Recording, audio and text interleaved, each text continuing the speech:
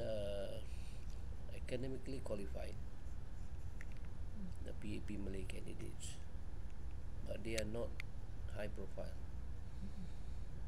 Right? So, paper qualifications, as I said right from the beginning, only helps you to a certain point. After that, you have to perform. Because if you don't, then you will just remain where you are. Cannot climb the the hierarchy. You know. Like dulu, eh, we had uh, Yaakob Muhammad, all that.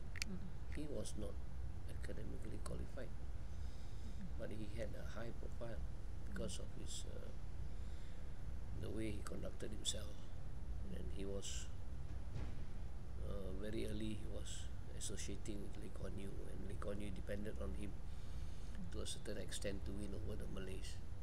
Right? He was an UMNO UMNO guy. He was a member for I think what, Southern Islands. Pulau Semakau, all those island, Pulau. Tapi now we cannot rely on that.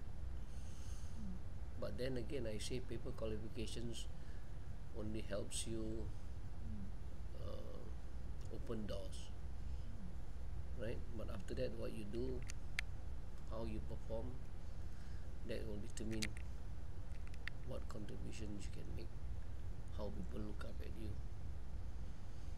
If you are really effective, ah, you can convince your own colleagues, uh, and by doing doing so, you can also convince the general public about what you can do Then your profile will go up. Then you can uh, the Malays overall can benefit. That is on the PAP side. The same goes with the opposition.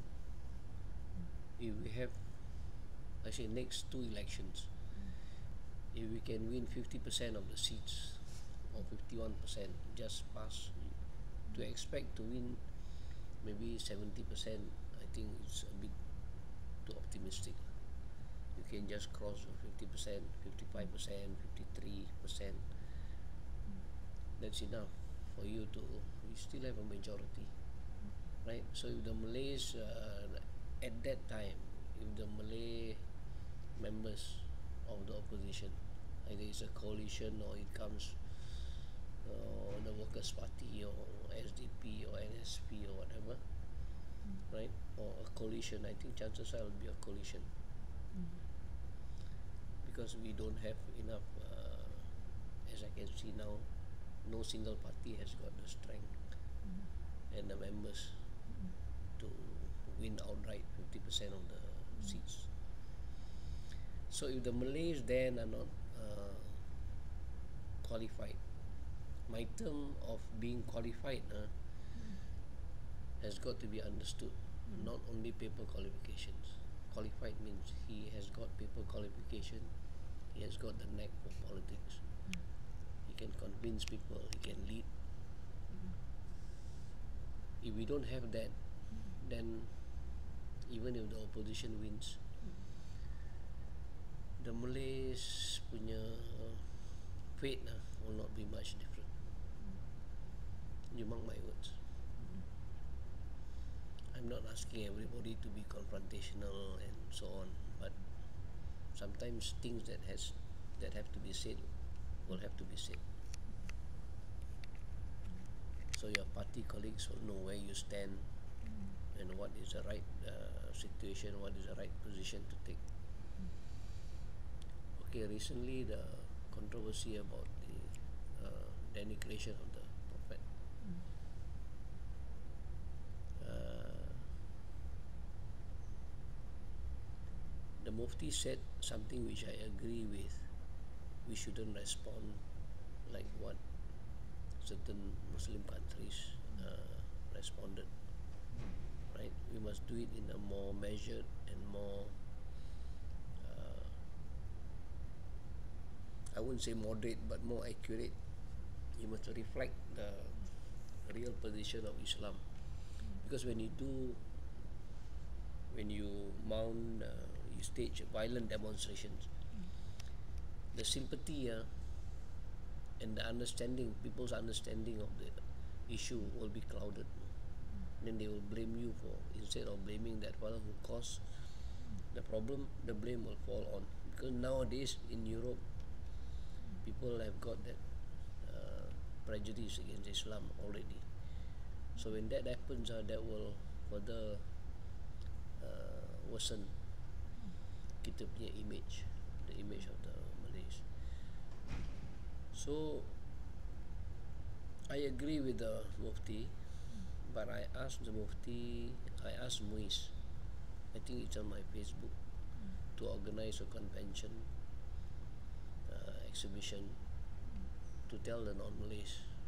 You invite uh, scholars from overseas, give lectures on Islam, make them understand what Islam is all about, and uh, explain the personality of the Prophet. Uh, then you say I disagree with the way they did it by demonstrating. My way is this. I'm promoting this so people will understand Islam. So I say this because I I would